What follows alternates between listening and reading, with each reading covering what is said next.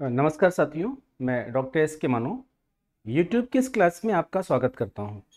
जैसा कि कल की क्लास में हम लोगों ने प्राचीन भारतीय इतिहास के स्रोत क्या हैं, प्राचीन भारतीय इतिहास को समझने के कौन कौन से स्रोत हैं और उन स्रोतों के माध्यम से हम अपने प्राचीन भारतीय इतिहास को कैसे समझ सकेंगे, कैसे अध्ययन कर सकेंगे इसको एक फ्लोचार्ट के माध्यम से हम लोगों ने मोटे तौर पे मोटा मोटी उसको समझा था। फिर उसमें हम लोगों ने ये देखा था कि जो प्राचीन भारतीय इतिहास को समझने का जो स्रोत, पुरातात्विक स्रोत है, उस पुरातात्विक स्रोत के अंतर्गत हम लोगों ने बेसिकली अभिलेख पर बात किया था रिकॉर्ड्स पे बात किया था कि जो अभिलेख हैं, वो उनके माध्यम से हम कैसे अपने इतिहास को समझ सकते हैं। अभिलेखों में आ, हमने कुछ अभिलेखों की बात किया था और आज उसी क्रम में हम लोग प्राचीन भारतीय इतिहास को समझने में स्मारक और भवन अर्थात मोनूमेंट्स एंड बिल्डिंग्स टेम्पल्स मंदिर ये किस तरह से प्राचीन भारतीय इतिहास को समझने में सहायक सिद्ध होते हैं? इस बात पर चर्चा करेंगे। तो आर्कियोलॉजिकल सोर्सेस के अंतर्गत, अर्थात आर्कियोलॉजिकल सोर्सेस के अंतर्गत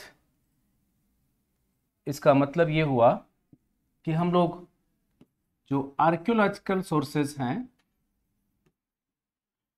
उनमें यानी कि पुरातात्विक स्रोत और इस पुरातात्विक स्रोत के अंतर्गत हम लोग जो आज बात करेंगे, जो चर्चा करेंगे, वो मॉन्यूमेंट्स एंड बिल्डिंग्स पर बात करेंगे।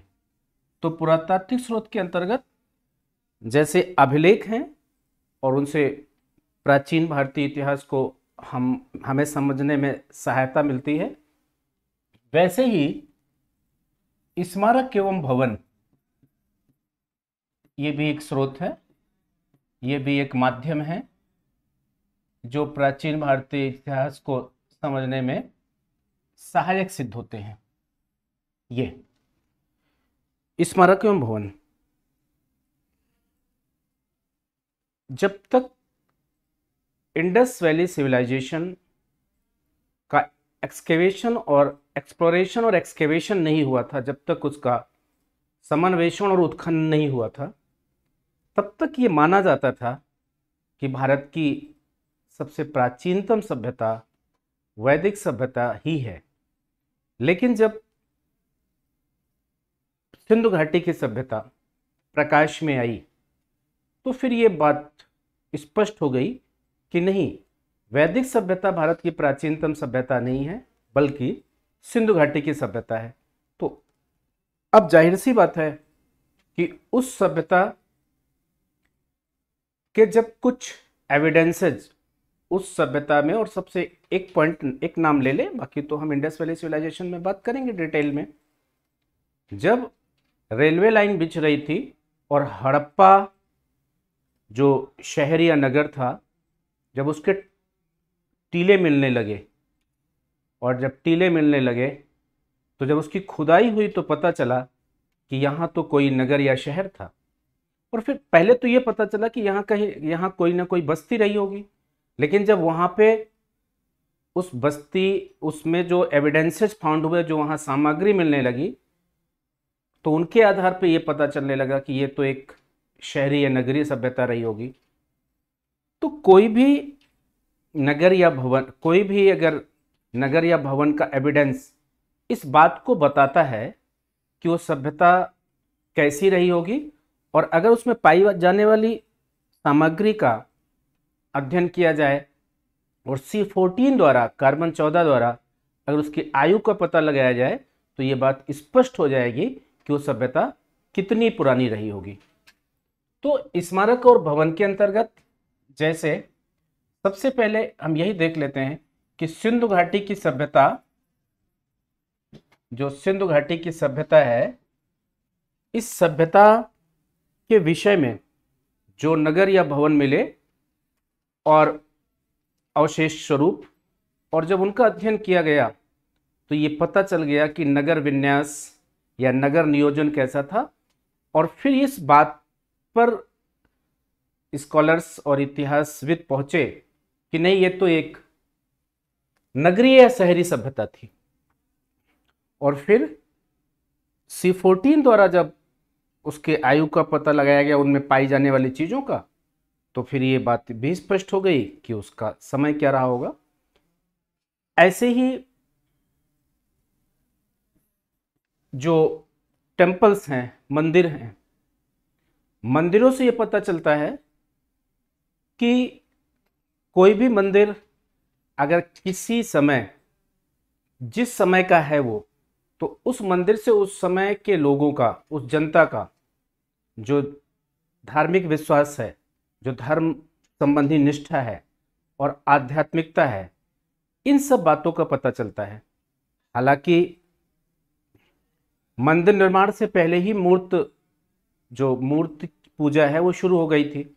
इंडस वैली सिविलाइजेशन में मूर्त पूजा के साक्ष्य मिले। अभी हम जब मूर्तियों की बात करेंगे तो देखेंगे। लेकिन मंदिर निर्माण ये गुप्त काल में शुरू हुआ। तो अब जब गुप्त काल के अंदर जो मंदिर निर्माण हुए और उस मंदिर से और मंदिर निर्माण की भी वजह यह है कि मूर्तियों को प्रोटेक्ट करने के लिए, मूर्तियों के मूर्ति के संरक्षण के लिए मंदिर का निर्माण हुआ और मूर्तियों का निर्माण जो है वो कुषाण काल से शुरू हो गया था।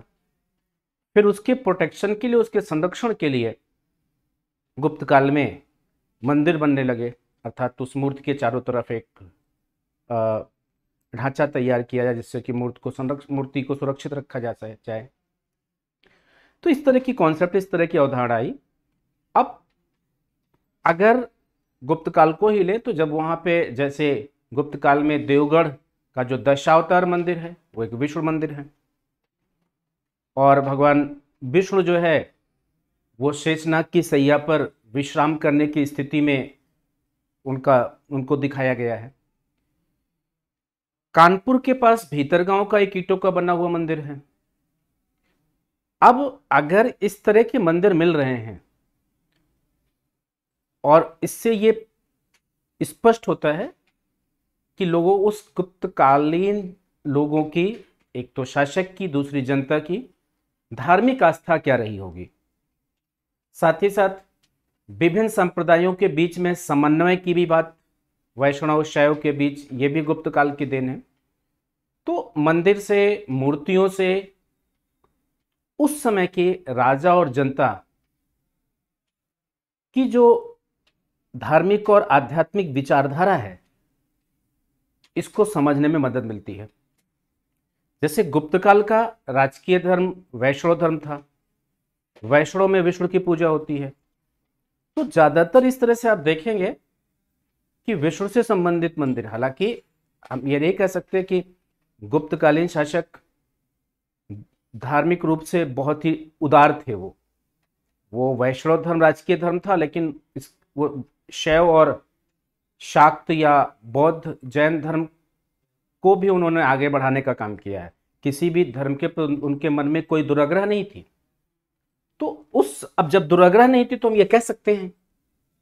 तभी तो एक शब्द है कि वो धार्मिक रूप से उदार थे। अगर वैष्णव धर्म के अतिरिक्त और किसी प्रकार के धर्म के विकास का अगर प्रमाण ना मिलता तो इससे स्पष्ट होता कि वो धार्मिक रूप से उदार नहीं थे। तो तभी तो बौद्ध, जैन, शैव, शाक्त, इनका भी अद्भुत विकास हुआ था गुप्त काल में। हाँ ठीक है कि वैष्णव का ज़्यादा हुआ क्योंकि वो उनका जो है राजकीय धर्म था।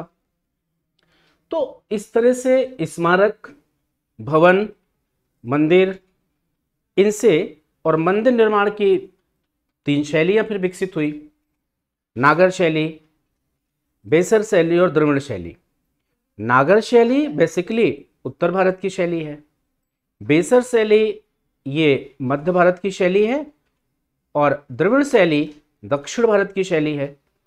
जो बेसर शैली है वो नागर शैली और द्रविड़ शैली का मिश्रित रूप है। दोनों का मिला जुला रूप है। बीच की। तो इसके अतिरिक्त हम लोग ये भी समझेंगे कि जो कोई भी शासक है और उस शासक द्वारा जो मंदिर बनवाए गए, वो मंदिर उसकी विचारधारा को, उसके धार्मिक आस्था को परिलक्षित करते हैं। चंदेलों ने खजुराहो में, खजुराहो का मंदिर बनवाया, कंदरिया महादेव का मंदिर, ये चंदेल शासकों द्वारा बनवाया गया। तो इससे स्पष्ट होता है कि उनकी आ, किस संप्रदाय या किस आ, विचार किस संप्रदाय या धर्म में उनकी विशेष आस्था थी? तो इनसे ये जानकारी होती है। इसके अतिरिक्त हम ये भी देखेंगे कि जो सिक्के हैं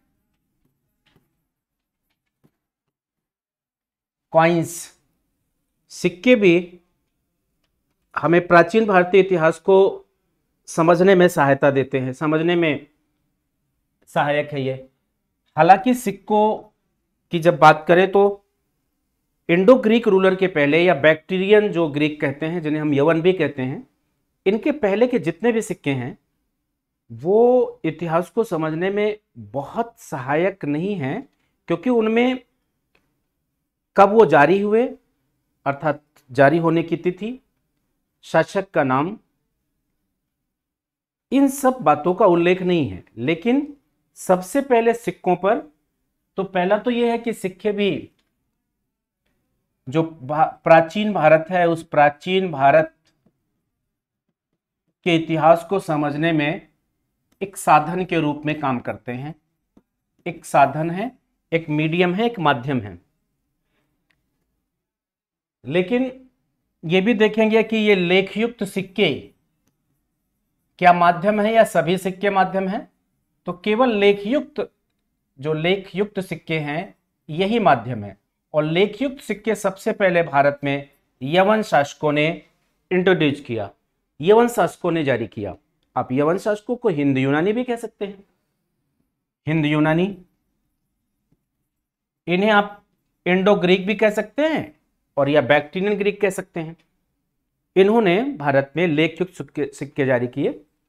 अर्थात सिक्कों पर जिसने जारी किया उसका नाम राजा का चित्र।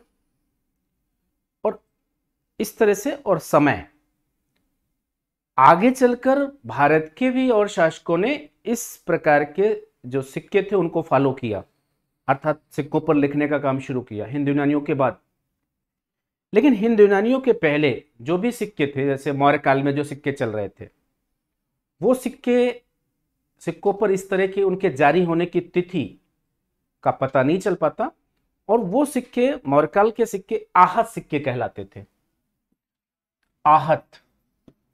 ये, आहत सिक्के का मतलब यह है कि पंच मार्ग कॉइंस अर्थात उन पर वृक्ष, पहाड़, मछली, चंद्रमा, इस तरह के कुछ चित्र चित्र क्या कहेंगे, बल्कि ठप्पे लगे होते थे।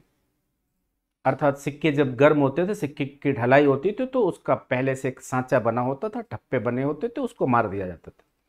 लेकिन किसी राजा का नाम, किसी राजा का चित्र, या फिर कब जारी हुआ, इसका पता नहीं चलता मौर्यकाल में। तो मौर्यकाल के सिक्के आहा सिक्के कहलाते थे।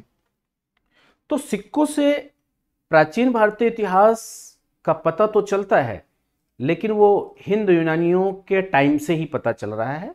उसके बाद का जो इतिहास है, वहाँ से। अब फिर हिंदू यूनानियों के बाद,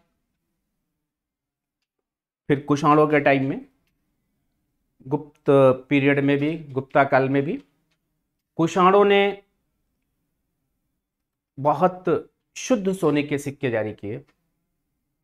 कुषाण शासक विम कडाफिसस था।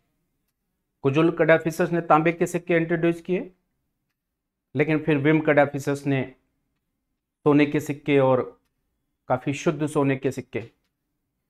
गुप्त शासकों ने भी सोना, चांदी और तांबा तीनों प्रकार के सिक्के जारी किए। हाँ उसमें जो चंद्रगुप्त प्रथम है, उसने सोने के सिक्के भी जारी किए और फिर उसने चांदी के भी सिक्के जारी किए और चंद्रगुप्त द्वितीय ने व्याघ्र प्रकार के चांदी चांदी के सिक्के जारी किए। तो और फिर अब जैसे स, अब ये देखा जाए तो समुद्रगुप्त ने अपने सिक्कों पर बीड़ा उसके सिक्कों पर उसे बीड़ा बजाते हुए दिखाया गया है बीड़ा वादन करते दिखाया गया है। इससे ये स्पष्ट होता है कि समुद्रगुप्त भारत का एक ऐसा शासक है गुप्त वंश का एक ऐसा शासक है जिसकी संगीत में विशेष रुचि रही होगी। अगर बीड़ा वादन कर रहा है तो इसका मतलब कि उसकी संगीत में रुचि रही होगी। तो अब अगर उसके, इस तरह से यह पता चल रहा है कि वो संगीत में रुचि रखने वाला शासक था। किसी के सिक्के पर अश्वमेध लिखा हुआ है। अश्वमेध पराक्रमांक लिखा हुआ है। तो इससे पता चलेगा कि उसने अश्वमेध यज्ञ भी किया है। ऐसा समुद्रगुप्त के सिक्कों पे मिलता है। तो इस तरह से सिक्कों के माध्यम से भी प्राचीन भारतीय इतिहास को और केवल प्राचीन ही और भी तो प्राचीन भारतीय इतिहास को हम काफ़ी हद तक समझ पाते हैं। सिक्कों के अतिरिक्त स्टैचू या मूर्ति स्कैप्चर, मूर्तियाँ भी प्राचीन भारतीय इतिहास को समझने में सहायक हैं। अब मूर्ति, अगर इंडस वैली सिविलाइजेशन में जाएँ तो वहाँ कांसे की नर्तकी की मूर्ति मिली। मातृदेवी की मूर्ति मिली। अब मातृदेवी की मूर्ति मिल रही है और तो इससे पता चल पा रहा है कि मातृदेवी अधिक पूजनीय थी। और फिर वो समाज के विषय में हमें पता चल पाएगा कि ये एक मातृसत्तात्मक समाज था। कांसे की नर्तकी की मूर्ति, मातृदेवी की मूर्ति और इस तरह से पशुपति आदिशु के बीच में, विषय में भी ये अवधारणा है। और पशुपति आदिशु ही भारतीय उपमहाद्वीप के प्राचीनतम देवता माने जाते हैं तो इसी आधार पर माने जाते हैं कि उनके वर्शिप का, उनके पूजा का एविडेंस कहीं ना कहीं, अर्थात वो इंडस वैली सिविलाइजेशन से मिलता है। तो इस बात पर इतिहासकार इस बात तक पहुँच पाते हैं, इस रिज़ल्ट तक पहुँच पाते हैं कि अगर पशुपति यादशिव प्रोटोशिवा की वहाँ से मूर्ति या उनकी मोहर पे चित्र बना हुआ मिला तो इसका मतलब उनकी वर्शिप होती थी, उनकी पूजा होती थी। तो उन्हें भारतीय उपमहाद्वीप का सबसे प्राचीनतम देवता मान लिया गया। और मूर्तियों में व्यापक रूप से मूर्ति निर्माण की जो कला विकसित हुई, वो कुषाण काल से शुरू हुई। कुषाण काल में, कनिष्क के शासन काल में मूर्ति निर्माण की दो शैलियाँ विकसित हो गई। मूर्ति निर्माण की दो शैली विकसित हो गई और वो एक शैली है मथुरा शैली और दूसरी शैली थी गांधार शैली। ये ये दो शैलियाँ मूर्ति निर्माण की हैं। इन दोनों शैलियों का विकास जो मूर्ति निर्माण से संबंधित शैलियाँ हैं, एक अमरावती शैली भी है, लेकिन उसका विकास वो सातवाहन शासकों के टाइम में ही हुआ था। तो वो सात, वो सातवाहन शासकों की देन है, अमरावती शैली। लेकिन जो मथुरा शैली है और गांधार शैली है, इनका विकास कनिष्क के टाइम में हुआ। मथुरा शैली विशुद्ध रूप से एक भारतीय शैली है, मूर्ति निर्माण की। विशुद्ध भारतीय शैली है और अब इसमें लाल बलुआ पत्थर का प्रयोग हुआ है इस मूर्ति के निर्माण के लिए। और बुद्ध की पहली जो मूर्ति है, वो मथुरा शैली में ही बनी। हालाँकि बुद्ध की ज़्यादातर मूर्तियाँ वो गांधार शैली में पाई गई। लेकिन पहली जो मूर्ति है और बुद्ध की गांधार शैली की ही मूर्ति ग्रीक देवता अपोलो से मिलती जुलती है और ये मिश्रित शैली है और ये दो, ये भारतीय शैली और यूनानी शैली का मिश्रित रूप है।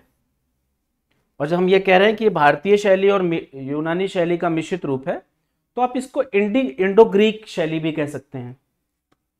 और इसे आप ग्रीको बुद्धिस्ट बुद्ध की ज़्यादातर मूर्तियाँ इसमें, इसको ग्रीको बुद्धिस्ट भी कह जाते हैं, कह दिया जाता है। इसको हिंद, यूनानी इंडो ग्रीक ग्रीको बुद्धिस्ट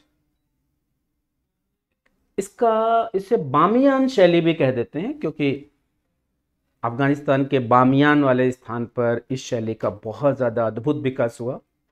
इसलिए बामियान भी शैली कह देते तो इस इस शैली और इस शैली में मूर्तियाँ बन रही हैं। अब उस मूर्तियों से ये पता चल पाता है कि धार्मिक आस्थाएँ या उन मूर्ति, जिस शैली में मूर्तियों का निर्माण हो रहा है उससे ये पता चल पाता है कि उस समय के लोगों का आस्था को लेकर के, ईश्वर ईश्वर की आस्था को लेकर के किस तरह की अवधारणा या विचार था। तो ये सब बातें मूर्ति से भी हम प्राचीन भारतीय इतिहास को समझ पाते हैं। इसके अतिरिक्त अगर हम ये देखें कि चित्रकला, पेंटिंग चित्रकला। चित्रकला ये भावनाओं, चित्र जो है, वो भावनाओं की या भावा व्यक्ति का एक माध्यम है। अर्थात चित्रों के माध्यम से किसी के भाव का पता चलता है। अगर कोई व्यक्ति जिस तरह का चित्र उकेर रहा है तो उससे उसके भावनाओं, भावनाएँ परिलक्षित होती हैं। चित्रकला का अगर हम देखें तो बहुत प्राचीनतम चित्र का कला का प्रमाण। आदिमानव जब की कोई सभ्यता नहीं थी, तब भी भीम बेटका के ये ओल्ड स्टोन एज में, पैलोलिथिक एज में पुरापाषाण काल में, जब उसकी अपनी कोई सभ्यता नहीं थी, सिविलाइजेशन नहीं था, तब भी मानो चित्रकारी करता था। इस बात का प्रमाण भीम बेटका के मध्य प्रदेश के भोपाल के पास, जो अब्दुल्ला गंज और रायसेन वाले रूट के पास, वो भीम बेटका की गुफा में चित्रकारी का जो प्रमाण मिलता है तो चित्रकला में अगर हम ये देखें कि जो भीम बेटका है मध्य प्रदेश में, उस भीम बेटका की गुफा में जो चित्रकारी हुई है वो इस बात को बताती है कि मानव का ये पहला शौक रहा होगा, ये पहली हॉबी रही होगी। जबकि अभी उसे बहुत कुछ नहीं पता था, सभ्यता नाम की चीज़ उसके साथ नहीं जोड़ सकते हैं। अभी तो नोमेडिक लाइफ यायावर की तरह, घुमक्कड़ जीवन, लेकिन फिर भी उसने चित्रकारी तो कहीं ना कहीं उसके इस बात का पता चलता है कि चित्र कारी उसका एक विशेष शौक था। इसके अतिरिक्त आप अभी चित्रकला में जो अजंता की गुफाएँ हैं, उन अजंता की गुफाओं में ये माँ और पुत्र का चित्र, एक मरासन राजकुमारी का चित्र। ये सब चित्र इस बात को परिलक्षित करते हैं, इस बात को बताते हैं कि उस समय की और ये गुप्त काल के टाइम का ही है तो उससे ये पता चलता है कि ये माँ और पुत्र का जो चित्र है, ये ममत्व को प्रदर्शित करता है। तो इस तरह चित्रकला के माध्यम से भी प्राचीन इतिहास को समझने में काफ़ी सहायता मिलती है और मोहरे हैं, सील। ये, मोहरे। मोहरे या सील। इंडस वैली सिविलाइजेशन में सिंधु घाटी के कई स्थलों से, लोथल से, मोहनजोदड़ो से और मेसोपोटामिया में उर नामक बंदरगाह से यहाँ की मोहरें वहाँ वहाँ की मोहरें यहाँ मिली। तो अगर मोहरें एक दूसरे सभ्यता की दूसरे सभ्यता पे मिल रही हैं, में मिल रही हैं तो मोहरों से व्यापारिक, सामाजिक, आर्थिक इन प्र, इस प्रकार की जानकारी होती है। और ये मोहरें इंडस वैली सिविलाइजेशन की तो ऐसी होती थी जो कोई भी सामान जैसे आज कोई सामान जब पैक होता है तो लास्ट में उसमें अभी भी पोस्ट ऑफ़िस में कि लास्ट में एक मोहर लगाया जाता है कि भाई ये ब्रेक नहीं किया गया है तोड़ा नहीं गया ऐसे कोई भी सामान को जब यहाँ से वहाँ के लिए पैक होता था मेसोपोटामिया में एक उर नामक बंदरगाह था तो यह वहाँ से यहाँ तो लोथल में मेसोपोटामिया की इस तरह से जो मोहरें मिली तो उन मोहरों पे उन उन मोहरें मिली उनको जो पैक होते थे सामान उन पर उसको सील लगाया जाता था अर्थात उस पर इस बात का प्रमाण होता था कि इसमें सामान सुरक्षित है उसको किसी प्रकार से आ, तोड़ा नहीं गया है वो सुरक्षित है। तो मोहरें इस बात का प्रमाण होती हैं कि सामाजिक आर्थिक स्थिति को बताती हैं। एक तो वहाँ पे।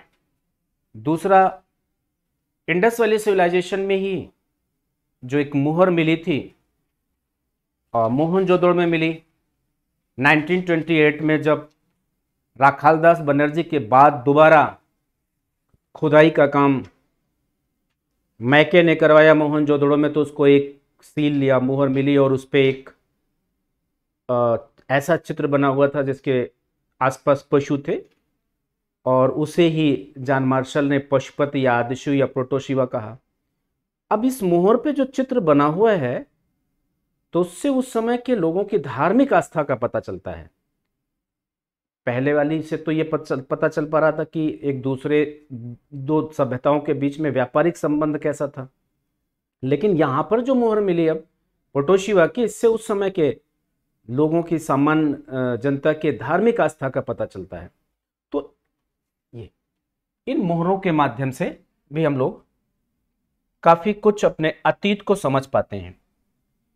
तो आर्कियोलॉजिकल सोर्सेस के अंदर तो ये बातें हो गई, लेकिन अगर हम लिटरेरी सोर्स की बात करें, साहित्यिक स्रोत की बात करें कि साहित्यिक स्रोत के अंतर्गत कौन कौन सी बातें हैं और उनमें क्या क्या आता है तो कल मोटे तौर पे हम लोगों ने ये तो देख ही लिया था कि वो साहित्यिक सोर्सेस वो साहित्यिक स्रोत, वो लिटरेरी सोर्सेज हैं कौन कौन से? उनमें हमने भारतीय साहित्य देखा था और फिर विदेशी साहित्य देखा था। तो भारतीय साहित्य में भी ब्राह्मण साहित्य, बौद्ध साहित्य और जैन साहित्य। तो आप इसको ऐसे भी कह सकते हैं कि ब्राह्मण साहित्य और ब्राह्मणेतर साहित्य, अर्थात ब्राह्मण से इतर और ब्राह्मण से इतर कहेंगे तो बौद्ध धर्म जैन धर्म। तो पहले हम ब्राह्मण साहित्य के अंतर्गत देखते हैं कि कौन कौन से और ब्राह्मण साहित्य में जब हम बात करें, करते हैं तो सबसे पहले ये वेद ही आता है। वेद ये। ये ब्राह्मण साहित्य का मुख्य अंग है। सबसे पहले ही से हम रखेंगे।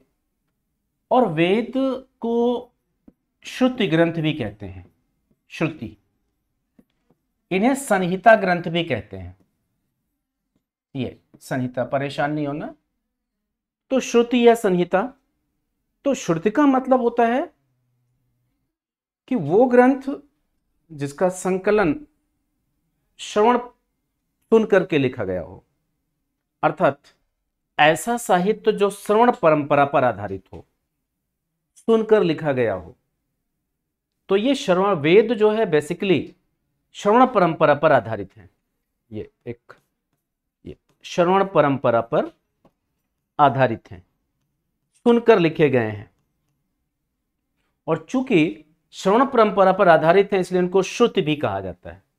और जो बात सुनी गई और फिर उसे लिपबद्ध कर दिया जाए, कहीं पर कलेक्ट कर दिया जाए तो उसी को संहिता कहते हैं। तो इसलिए इनको संहिता ग्रंथ भी कहा गया। वेद प्राचीन भारतीय इतिहास को समझने में बहुत हद तक सहायक है। और जब वेदों की बात करते हैं तो फिर वेद के चार प्रकार हो गए, वेद या शुद्ध तो पहला तो यह समझ लेना कि श्रम परंपरा पर आधारित है। आप पौरुषे हैं वेद। अर्थात ये मानव के मस्तिष्क की उपज नहीं है। अपरुषे हैं और इनका संकलन महर्षि वेद व्यास ने किया। इनका संकलन महर्षि वेद व्यास ने किया। या कृष्ण द्वैपायन उन्हीं को कहते हैं। महर्षि वेद व्यास या कृष्ण द्वैपायन उन्होंने ही किया है। तो यह श्रवण परंपरा पर आधारित है। एक बात यहाँ पर हम यह देख लें। मैं जब यहाँ पे कह रहा हूँ कि वेद अपौरुषेय हैं, अर्थात मानव मस्तिष्क की उपज नहीं है, और फिर मैं कह रहा हूँ कि इनका संकलन महर्षि वेद व्यास ने किया तो पहले इस बात को आज समझ ले कि ये माजरा ये मामला है क्या। अगर हम ये कह रहे हैं कि अपौरुषेय हैं, और फिर इनका संकलन। वेदों की रचना मानव द्वारा नहीं हुई। ये देववाणी है। ये देववाणी, ऐसा माना जाता है ये देववाणी है। दरअसल रचना और संकलन में थोड़ा सा फ़र्क है। रचना तब कहेंगे जब वो किसी के मस्तिष्क की उपज हो। जैसे प्रारंभिक कक्षाओं में आप इसके पहले ऐसे देखे होंगे किसी भी पोइम के लिए, कविता के लिए यह कहा जाता है कि प्रस्तुत कविता के रचयिता। रचय, रचना वो होती है जिसमें उसकी खुद की क्रिएटिविटी हो, उसका खुद का क्रिएशन हो, उसकी खुद की थिंक हो, उसका अपना खुद का चिंतन हो, और फिर उसने कविता लिख दी।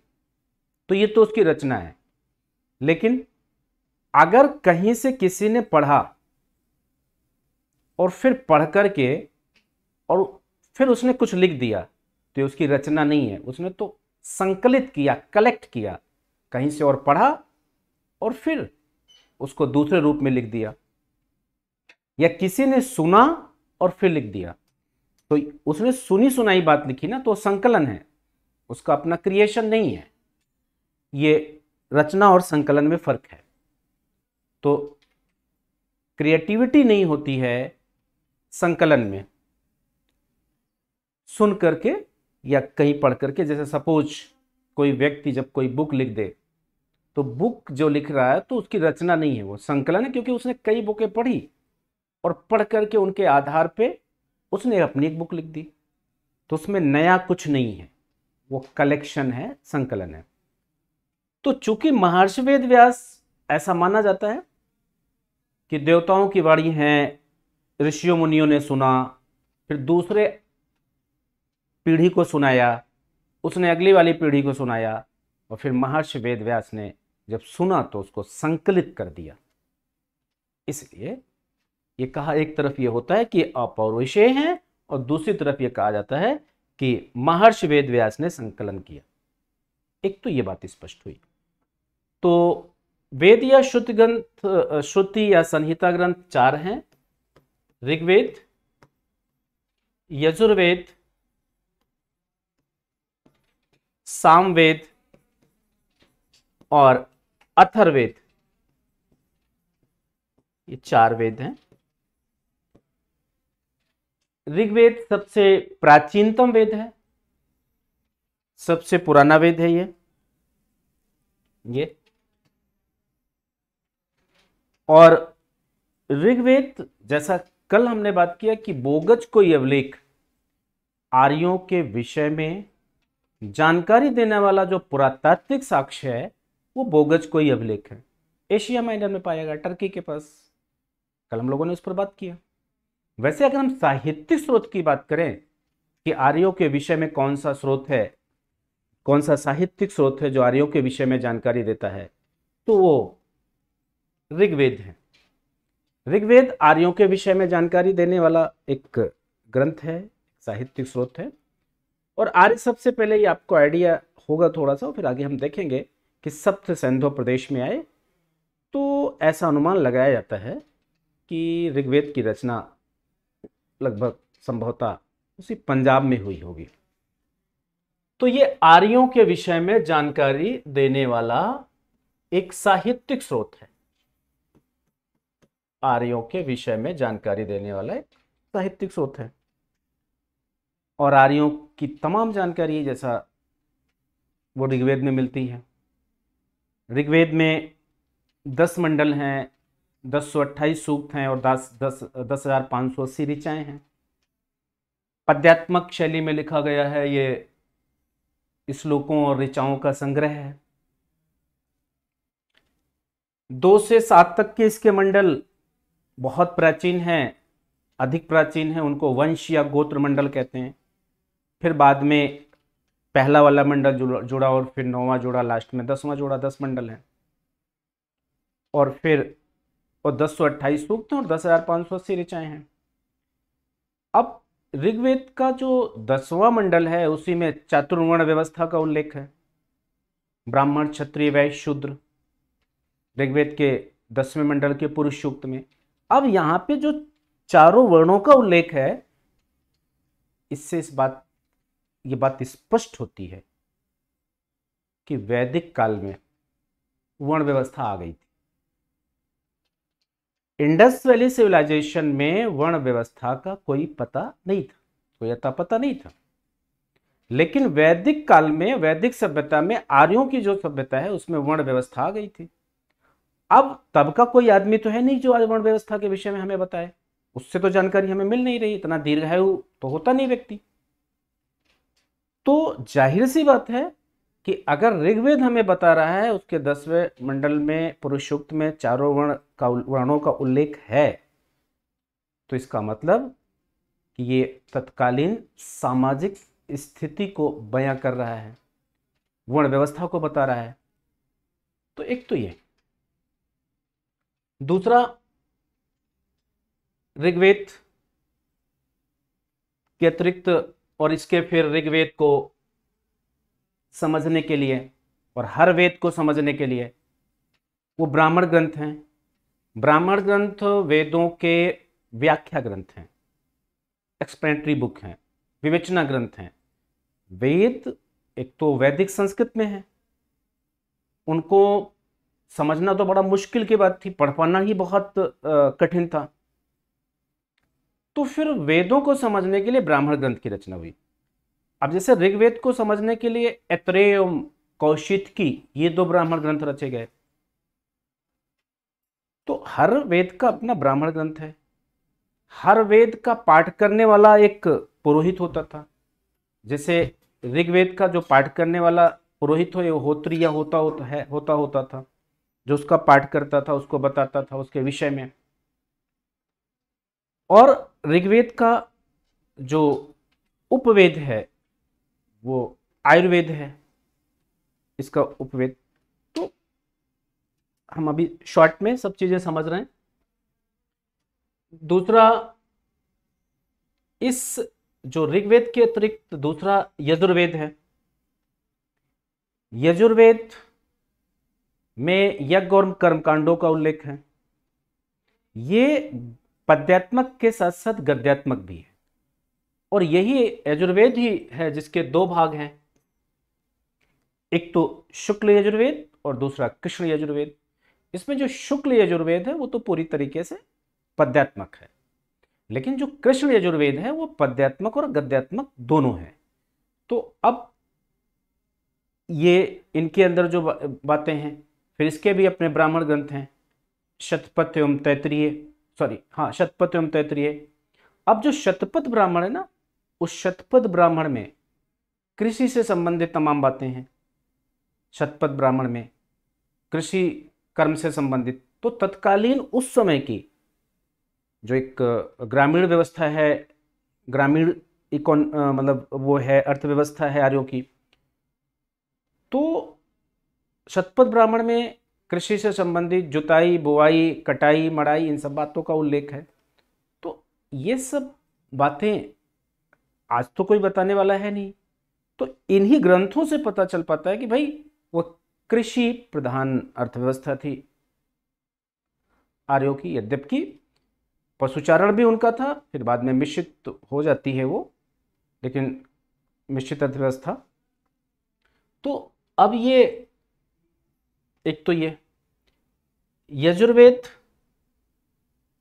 का भी जो गायन करने वाला होता था अर्धवर अधवर्यु कहलाता था, जो उसका पाठ करने वाला पुरोहित होता था। दूसरा, तीसरा सामवेद है। सामवेद। सामवेद, साम का मतलब गान होता है। और सामवेद से ही संगीत का जनक हुआ। संगीत के जो स्वर हैं, सा, रे, गा, मा, पा, धा, नी, सा, इसका, इसकी उत्पत्ति ये सामवेद से ही हुई। तो सामवेद से जो गायन विद्या है, उसका विकास हुआ। अब सामवेद के जो ब्राह्मण ग्रंथ हैं वो पंचविश खडविश मेन है, बाकी और भी चांदोग से पंचविट खड, खडविश। और जो इसका पुरोहित होता था, वो उद्गात्री या उद्गाता है जो पुरोहित पाठ करता था। और जहाँ ऋग्वेद का जो उपवेद है, वो आयुर्वेद है, वहीं पर जो यजुर्वेद है, उसका धनुर्वेद है। और सामवेद का उपवेद गंधर्वेद है। और सामवेद से इस तरह से गायन विद्या का विकास हुआ, गायन कला का विकास हुआ। और इन तीनों को कलेक्टिवली त्रिवेद कह दिया जाता था। वेदाष्ट्रायो वेदाष्ट्रायो में अथर्वेद नहीं है। हालाँकि ऋग्वैदिक काल में इन ब्राह्मण साहित्य में एक ही है जो ऋग्वैदिक काल में लिखा गया, वो ऋग्वेद है। बाकी सब का संकलन पोस्ट वैदिक एज में, यानी कि उत्तर वैदिक काल में हुआ। अथर्वेद अंतिम वेद है। अब इस अथर्वेद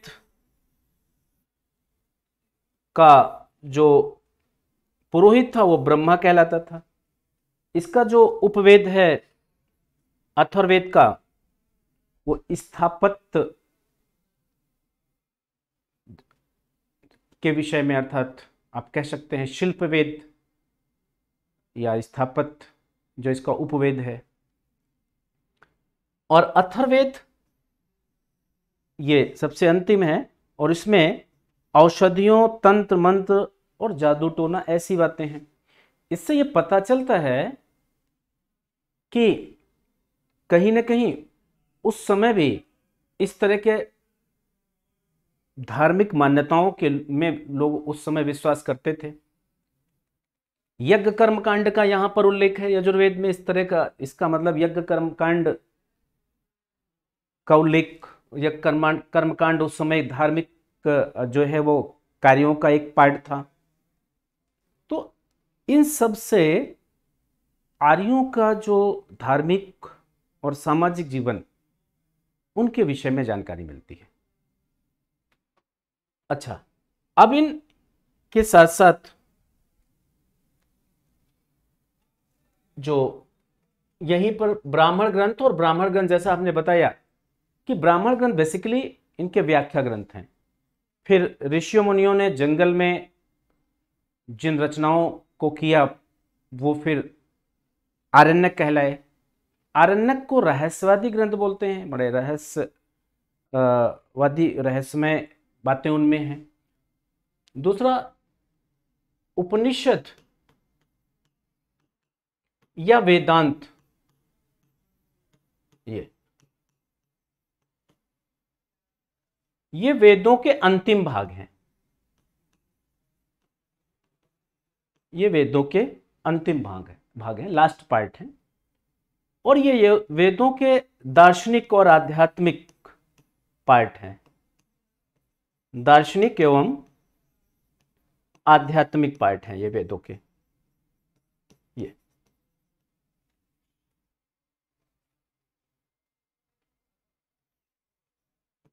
अर्थात फिलोसफिकल स्पिरिचुअल पार्ट है ये।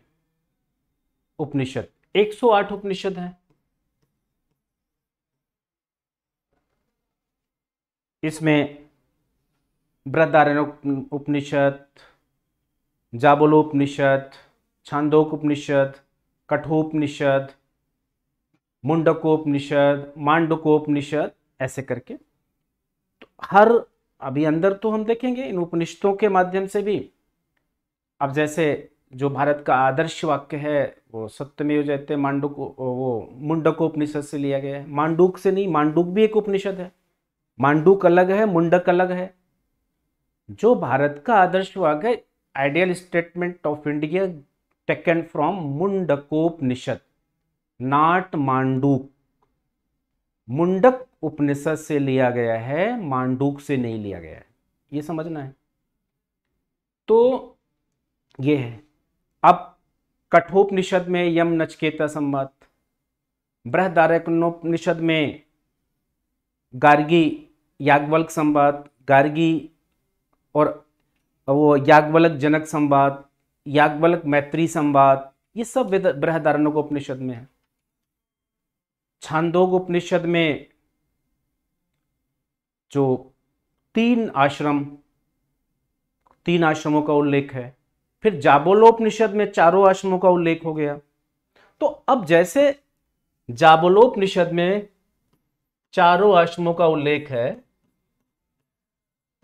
ये